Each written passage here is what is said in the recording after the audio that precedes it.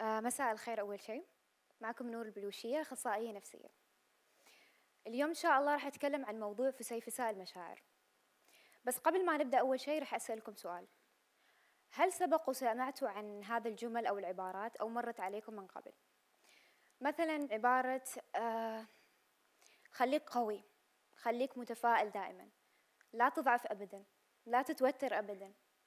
دراما كوين. حتى على أيامنا كنا نقول صياحونا رجيلة سمعتوا هالسوالف؟ أيوة. فنحن جالسين اليوم نتكلم عن فسيفساء المشاعر. آه المشاعر هذه تكونت ونحن صغار جدا تكونت داخلنا. بس للأسف نحن خضينا برمجة نرفض بعض المشاعر وما نتقبل كل المشاعر. يعني مثلا ممكن نحس بالفرح والحب والابتهاج ونرحب فيهم. لكن في مشاعر ثانية نحن نرفضهم تماما مثل الغضب الوحدة مثلا الحزن التوتر. ما نحب هذه الأشياء. طيب وش الفكرة من المشاعر؟ هل هي مخلوقة عبثا فينا؟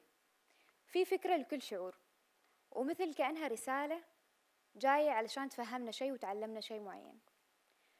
مثلا بالنسبة لشعور الحزن إيش فايدة شعور الحزن؟ شعور الحزن يخبرنا أن هناك معتقد سلبي نحن نحمله بداخلنا وهذا المعتقد جالس يعيق علينا شعور البهجة سواء كان عن نفسي أو عن الآخرين عن الحياة. في معتقد أنا أتبناه بشكل واعي أو لا واعي عن هذا المشاعر. طيب وش المغزى والرسالة من هذا الشعور؟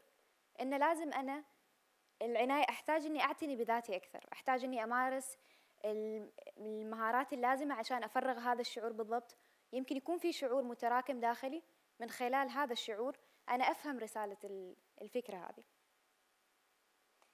الشعور اللي بعده عندنا شعور الغضب. طيب نحن كلنا نغضب والأسباب مختلفة. بس شعور الغضب له فكرة وله رسالة.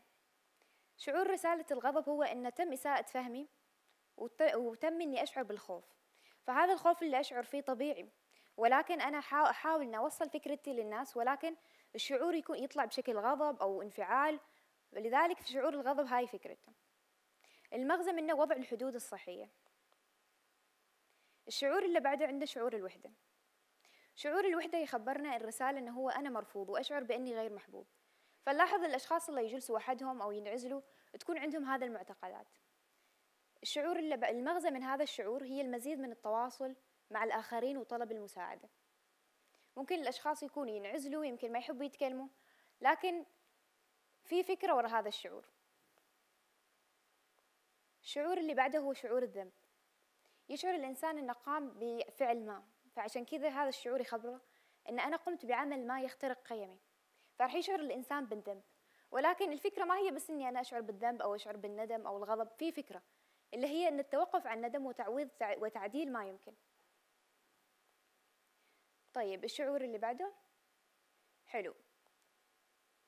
أوكي نتكلم الحين عن رحلة الشعور هذا. طيب إذا إحنا فهمنا إن الحين إن في لكل شعور في رسالة. من وين تبدأ هذا من وين يبدأ هذا الشعور؟ وكيف نعرف نتعامل معه بشكل صحي؟ نتعامل معه عشان نعرف من وين يبدأ. ناخذ مثال على هذا. مثلا أنفجر من موقف تافه. أو عفوا نبدأ بالشعور الانزعاج. شعور الانزعاج حسيت مثلا بالانزعاج. في عندي عدة طرق مثل ما نلاحظ الرسمة. في أكثر من مسار. ممكن إني أقاوم الشعور هذا وممكن أكبته وأشعر بتبلد وخلاص أسوي عمري إن أنا مثلا ما انزعجت ولا شعرت بالاستياء أو أي شيء. ولكن هذا الشيء ممكن يولد نتيجة إني راح أنفجر من أي موقف تافه. طيب في خيارات ثانية؟ في خيارات ثانية. هي إني مثلا أقاوم الشعور أبدأ ألاحظ إني أقاوم هذا الشعور اللي أحسه وبعدين أتقبل شعوري أعبر عنه. أنا عارف الحين أن أشعر بالإنزعاج مثلا أو بالغضب أو أي شعور ثاني فأتقبل هذا الشعور وأعبر عنه. طيب كيف ممكن أعبر عنه؟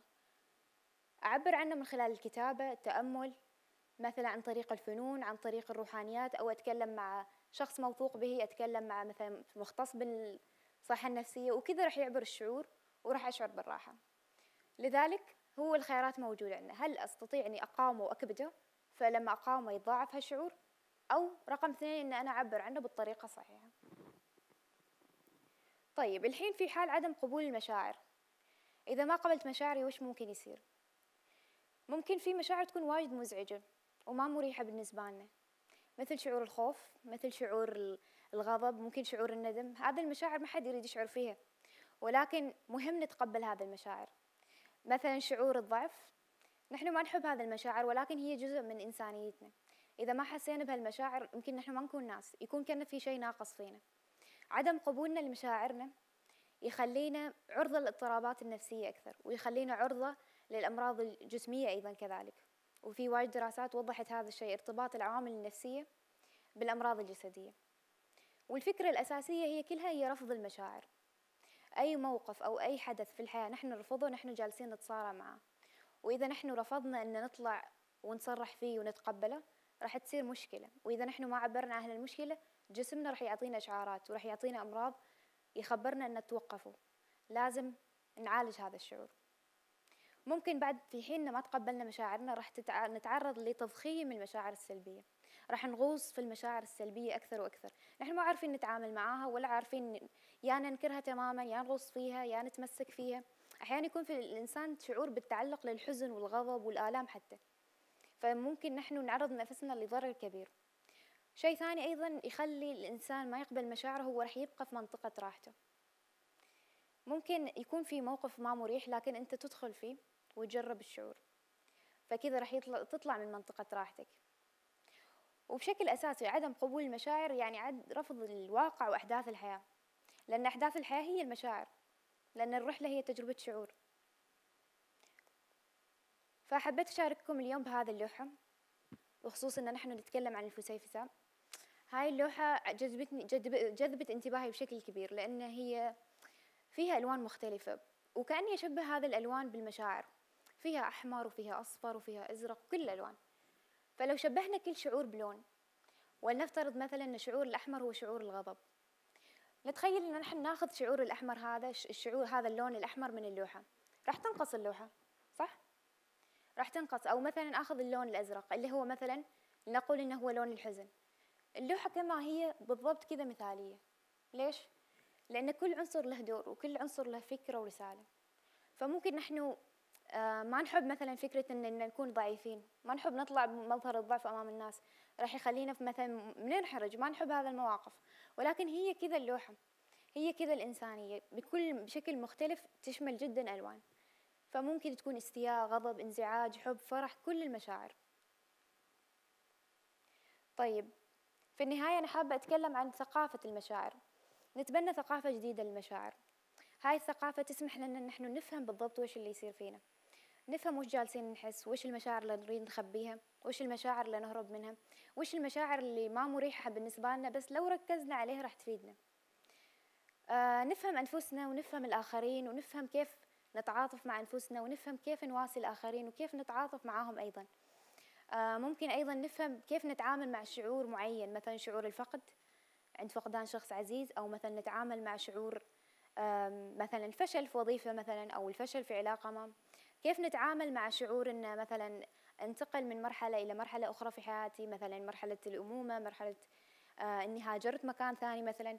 فكل هذه يحتاج لها ذكاء عاطفي. ونحن ما راح نفهم الأشياء إذا نحن ما فهمنا مشاعرنا بالضبط. نحن نحتاج أن نفهم أكثر آه كيف ممكن نطمن آه مثلا الأبناء إذا حدث مثلا طلاق أو شيء. هنا نحن لازم نفهم الشعور وشعور الأمان للأبناء كيف نطمنهم مثلا. نحتاج نفهم كيف ممكن نفهم احتياجات كبار السن كيف ممكن نفهم احتياجات ذوي الإعاقة مثلا. فنحن نحتاج المشاعر بشكل كبير في حياتنا. علشان نحب نفسنا أكثر ونحب الآخرين ونحب الحياة. وشكرا.